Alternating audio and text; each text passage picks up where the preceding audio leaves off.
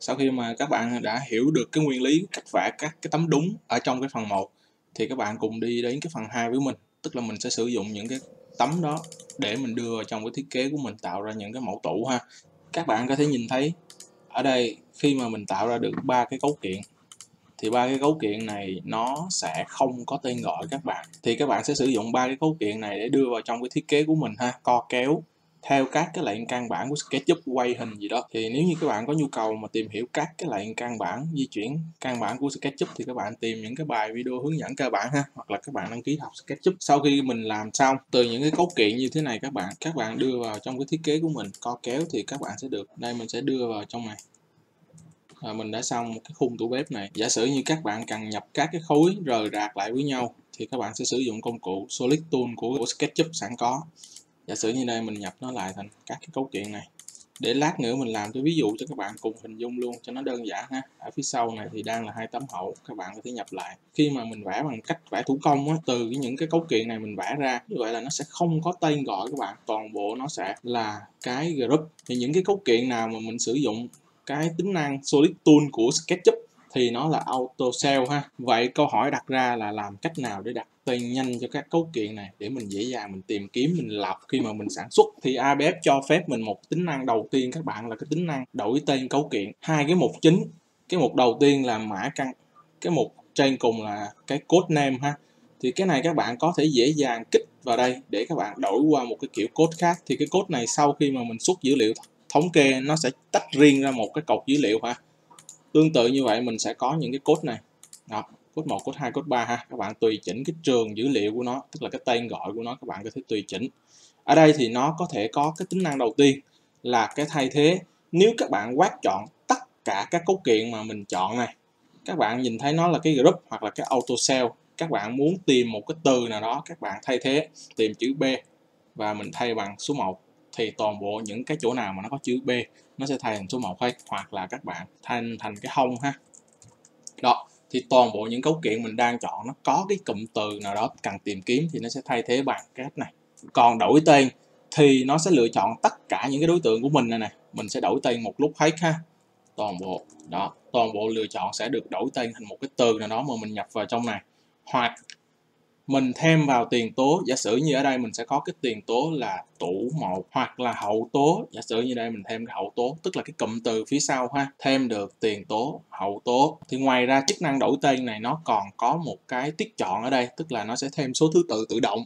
Giả sử như ở đây mình chọn đổi tên qua thành một cái hông đó thì khi các bạn tích chọn vào số thứ tự thì nó sẽ tự động nó thêm số thứ tự vào phía sau ha. Còn nếu như các bạn bỏ thì nó chỉ đơn giản là nó đổi tên tất cả các cấu kiện thôi.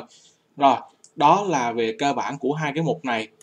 Câu hỏi đặt ra tiếp theo tức là nếu như trường hợp mà nó có quá nhiều ký tự, nó có quá nhiều cái tên gọi thì làm cách nào mà để nhanh? Thì ABF nó cũng cung cấp cho mình cái chuyện là nó lưu sẵn những cái trường dữ liệu trước đó rồi thì các bạn có thể kích chọn vào các cái nút tam giác nè. Nó sẽ hiển thị ra các cái tên mà các bạn đã nhập vào trước đó. Hoặc là các bạn có thể tự tạo ra cho mình một cái danh sách các cái tên gọi bằng cách tích chọn mở hiển thị nâng cao. Mình sẽ có cái trường đầu tiên, tức là các bạn có quyền được tạo ra những cái mẫu mới ha. Các bạn bấm vào nút này nè. Tạo mẫu tên ha. Các bạn tạo mẫu tên và mình sẽ lần lượt mình chọn các cái trường này và mình thêm các cái từ mà mình hay sử dụng. Giả sử như ở trong trường hợp này mình hay sử dụng các cái từ này thì các bạn sẽ bấm vào nút dấu cộng để các bạn điền các cái từ vào ở trong này mình hay dùng. Ví dụ như từ dìm ha, ví dụ như dìm trước. Đó, đây là mình tạo ra. Rồi ngoài ra để mà hiệu chỉnh các cái thứ tự này, các bạn, các cái thông số này nè, hoặc là sửa lại, các bạn có thể kích chọn vào nó. Các bạn có thể edit sửa thành tấm hậu ha. Đó hoặc là các bạn sửa thành hậu thôi. Đó mình ví dụ ha. Rồi để di chuyển thay đổi các cái vị trí này thì các bạn có thể bấm nút lên này, nó sẽ tự nhảy ha. Đó. Đó bây giờ thì hông trái không phải nóc đáy đợt kệ hậu. Đó mình sẽ cho cái thằng này nó xuống. Tương tự như vậy các bạn có thể bấm vào thêm tiền tố hậu tố và ba cái trường dữ liệu ha. Đây nếu như các bạn đổi cái căn hộ này thành mã chung cư ok. Thì ở dưới này nó cũng sẽ thay đổi thành mã chung cư ha các bạn ha ở đây các bạn bấm, đồng ý, sau đó các bạn bấm lại thì chỗ này nó cũng sẽ thay đổi, nó refresh thành mã chung cư ha. Thì về cách sử dụng của cái tính năng đổi tên này nó sẽ như thế nào? Giả sử như các bạn đang lựa chọn tất cả những cái cấu kiện này, nếu như các bạn bấm vào các cái trường này, bấm đáy, toàn bộ cấu kiện này nó sẽ biến thành đáy hết ha. Hoặc là mình sẽ undo cái này. Hoặc là các bạn bấm vào thêm tiền tố, ví dụ như tủ tivi hoặc là tủ bếp đi, để mình thêm tủ bếp cho nó hợp lý. Tủ bếp K1 toàn bộ những cấu kiện này nó sẽ thêm cái tiền tố này. Hoặc là mình bấm vào cái nút hậu tố ha, chập đôi ha. Ví dụ như đây vát xéo ngán kịch, thì toàn bộ những cái cấu kiện này nó sẽ thêm. Nếu các bạn muốn undo thì các bạn bấm vào nút này để cho nó trở về trạng thái bình thường. Thì đối với cái tủ bếp này, mình vẽ bằng cách thủ công thì mình sẽ chọn vào các cái cấu kiện này để mình đặt tên từ từ ha. Thay vì mình chọn vào đây, mình gõ, mình đưa con trỏ vào đây, mình gõ tên, ví dụ như mình gõ là cánh trái hay cánh phải gì đó, thì các bạn có thể bật cái tùy chỉnh thay thế cụm từ tự động này ha, và mình chọn cho nó nhanh.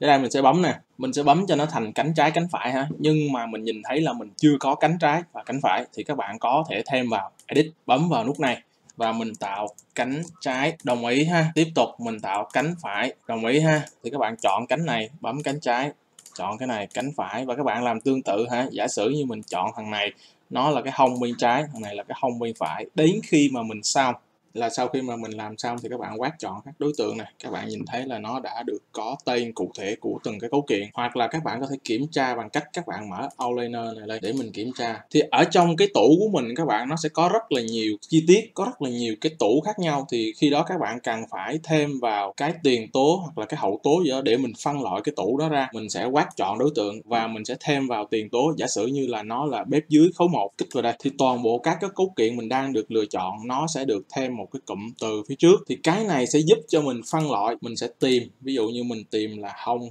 Đó, các bạn nhìn này thì mình sẽ biết cái hông này là của cái tủ bếp dưới K1 ha thì mình sẽ dễ dàng phân loại ra hơn các cái cấu kiện. Đây là cái tính năng đầu tiên của hai bếp ha. video thì tới đây thì nó quá dài rồi các bạn, nhưng mà mong các bạn dành thời gian xem kỹ nó qua một chút, tại vì nó có giải thích nhiều thứ, nhiều vấn đề trong này. Các bạn xem qua ha. Ở đây mình sẽ bấm vào cái nút gắn nhãn các bạn. Rồi thì mình sẽ bấm vào cái nút thống kê thì ở trong cái phần cấu kiện mà các bạn sử dụng nó sẽ có ba cái cột này ha. Nó là cái mã chung cư, mã phòng, cái code 3 trong cái bước này các bạn tràn cái dữ liệu vào mã chung cư, ví dụ như là anh ta đi, ví dụ như mã phòng là mã phòng à, BA1105 ví dụ như vậy đi.